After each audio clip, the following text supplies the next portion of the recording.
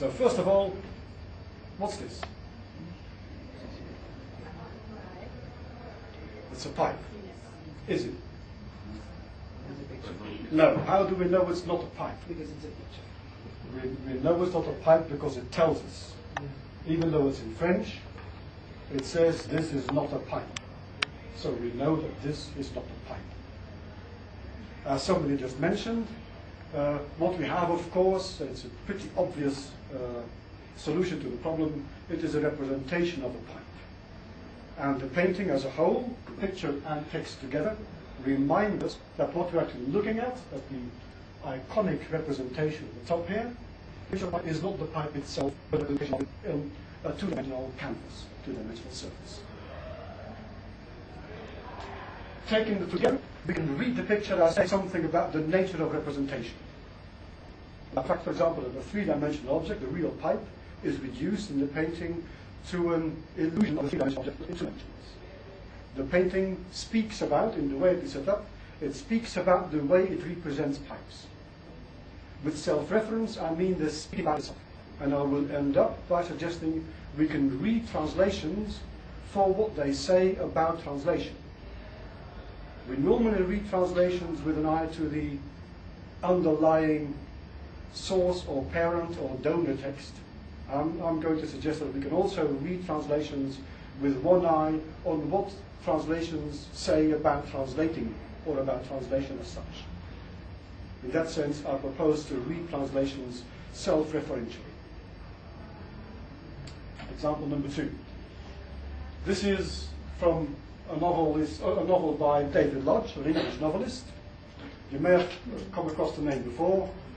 Um, it's also available in Spanish. There's one Intercambios, I think it's called in Spanish. There may even be more than one translation. Um, Lodge is a, an academic. You probably also know him as a, a writer about narratology and about structuralism and stuff like that. And he also, in his novels, uh, writes about academic life. They're very funny books. He takes the mickey out of uh, students and staff, mostly staff. In this particular novel, uh, he writes about two academics primarily, one British who works in, in the university that's very dull and tedious, as dull and tedious as the man himself is, and he's called Philip. And Philip goes on an exchange, an academic exchange, with a Californian, a very dynamic professor called Morris. They are both specialists in literature. Both know particularly the work of Jane Austen very, very well and can quote at liberty verbatim from it. Towards the end of the novel, there is a scene in which Philip and Morris, with their wives, are sitting together and talking. And the subject of their conversation is the way novels end. Being literature specialists, they talk about that kind of thing. And so at one point we come upon the scene where Philip says, Going to take the question of endings. You remember the passage in Northanger Abbey where Jane Austen says she's afraid that her readers will have guessed that a happy ending is coming up at any moment. And Morris says, quote, seeing in the telltale compression of the pages before them that we're all hastening together to perfect felicity, unquote. And Philip says, that's it, well, that's something the novelist can't help giving away, isn't it? That his book is shortly coming to an end. The passage is meant to be mildly humorous in the sense that within the novel, the characters, of course, don't know that their story is coming to an end. We're about five pages from the end. When you buy the novel separately bound, as one book, you know by that time that there are not many more pages to go before you come to the end of this particular novel. Yet within the novel, these, the characters don't know. They have no premonition of the fact that their story, their world, is going to come to an end very, very soon. Yet in that context, unaware of what's in store for them within a few minutes, or a few pages at least, within that context they talk about how novels end. It's a box within a box, as it were. Chinese doll or Russian doll type of, uh, Russian doll rather than Chinese doll, uh, type of situation. And the humor, of course, comes from the fact that the reader realizes that what the characters say about Jane Austen's quote, or the quote from Jane Austen about the telltale compression of the pages before them, also applies to the book you have in your hands. In that sense, it is as obviously self-referential as the Magritte painting we had a moment ago. It is also, I think, referential in a slightly more oblique way, and that's to do with the way the scene is actually presented on the page. We are reading a novel, a narrative, and the 200 pages before it are all prose, a kind of language, a kind of visual presentation of language also, but not associated with storytelling. Yet this particular scene, where the form of the novel itself is being discussed, the fact that you come to the end of the story, and yet within the story the characters don't know this, that information is being, or that joke if you like, is being made in the form of something that looks like a play. Hence you have the capital letters and you have the stage direction in italic. So within the novel, within the genre of the novel, and that genre that normally um, in the modern West and so on involves both. We have a scene that talks about novels and yet is set in the form of drama. So my suggestion is that in this case, in addition to the obvious self-referentiality we saw a moment ago, there is a further kind of indirect, if you like, self-referentiality in the sense that the layout of the page in the form of drama reminds us in fact the form itself is being hinted at, so to speak, being alluded to. Example number three, that's a story. I've got several stories coming up. This one is fictitious. All the other stories that come up are true. This one is a, a short story by Arthur Doyle involving Sherlock Holmes, as you can see. Um, and it's a story, I think, which everybody with a serious interest, in translations should read. Most people interested in translation read Borges. So Pierre Menard, also the Quixote, about Pierre Menard who wants to write the Quixote, ends up writing it, and then Borges makes all kinds of jokes about the fact that what he writes, although it's identical to what there was in the Quixote, doesn't quite mean the same thing, and so on and so forth.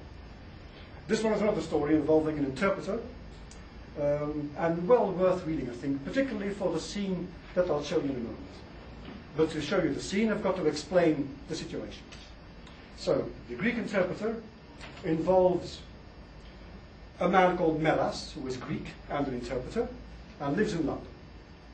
And one day he comes up to Sherlock Holmes when Sherlock is walking down Baker Street, and he tells Sherlock Holmes that a few days ago he was kidnapped in broad daylight in the centre of London by two English villains. And he was taken in, a carriage that was all covered up, so he couldn't know where he was going. Um, but it was clear to him that he was ta being taken out of London somewhere to an isolated house. Um, and there, under threat of grievous bodily harm, he was forced to interpret between a man whose name we learn later in the story is Kratides and the two English villains. Kratides is being forced by the English villains to sign a document that he doesn't want to sign. And to put pressure on him, they're starving him. And they're he's already pretty emaciated, so pretty thin, and he will also die. It's a very tragic story. Although poetic justice is done towards the end, but you have to read it for yourself to figure that out. Kratides has a sister. She doesn't appear very much in the story. It's not in, in, it's not in the scene that I'm talking about, so that's why she's in grey. One of the English villains wants to marry the sister, not because he loves her, but for her money. But Kratides is the custodian of the girl's money. That's why when he came to visit the sister in London, they imprisoned him, so they captured, they kidnapped him, imprisoned him, and are now trying to force him to sign over her money to them. And he is not willing to sign. Now, Kratides, having only just arrived in London, does not speak English, only Greek. The two English villains, being English, speak no other language. so they have a problem of communication. They have already communicated before through an interpreter, another one, whom they lost somehow. And so now, finding themselves in need of a new interpreter, they plucked Melas off the street, took him to his house, and told him, translate, or you will suffer the same fate. So Melas has no option but to translate. And among the scenes that we read, of course, monolingually, only in English, but that are meant to have taken place bilingually in the story, are exchanges like this. So the villains say in English to Melas, Melas translates into Greek, you can do no good by this obstinacy. Mel- Kratides replies in Greek, and Melas translates, I care not. And so it goes on. Your fate will be on your own head, let it be so. The property can never be yours, it shall not go to villains. You shall go free if you sign, I will never sign. Uh, you're not doing any service, let the, her say so, because they keep her separate from him. You shall see her if you sign, then I shall never see her. That's it. After a while, as Melas translates between the two sides, he begins to realize that he is the only one who has both Greek and English. And that gives him a fairly strong position. Now, he is there against his will, remember? And Kratides, who he realizes is also a Greek a compatriot and is a prisoner uh, and doesn't look in, in a very good, healthy state. Melas, after a while, begins to tag little questions onto the questions he translates. So he translates, for example, into Greek, you can do no good by this obstinacy, and then quickly adds a few words, knowing that the English villains will not be able to understand. And so, after a while, Kratides gets the point and begins to respond. And so, in the margin of the translated bilingual conversation, we get a monolingual Greek conversation, which looks like this. So here I've simply added on the right. That's why this story is of interest for translators. So the, the, bits on the right, only in italic, uh, in italic, will take place only in Greek. So he says, Who are you? I'm a stranger in London. How long have you been here? Three weeks. What ails you? That startled me. What house is this? I don't know. What's your name? Kratides, that's why we know, or how we know his name. Where are you from? Athens. Now, there is a risk, of course, that a word like Athens, or the name Kratides possibly as well, might be recognized. Arthur Conan Doyle, being an intelligent writer, clearly must have realized this as well. And so what in fact is done is that we don't get the exchange as I've just described it, but there's one little more complication, in the sense that the villains speak, Melas speaks, but Kratides is gagged and tied up, of course. They untie one of his arms, and he writes his responses. And he writes them in Greek. And because Greek uses a different alphabet, I'm sure that's why it has to be a Greek interpreter. Uh, and I'm sure also that Arthur Conan Doyle thought about this problem, that certain words, especially names, might be recognized. But not, of course, in Greek lettering. Athene and so on in Greek lettering looks pretty different from the word Athens as you hear it.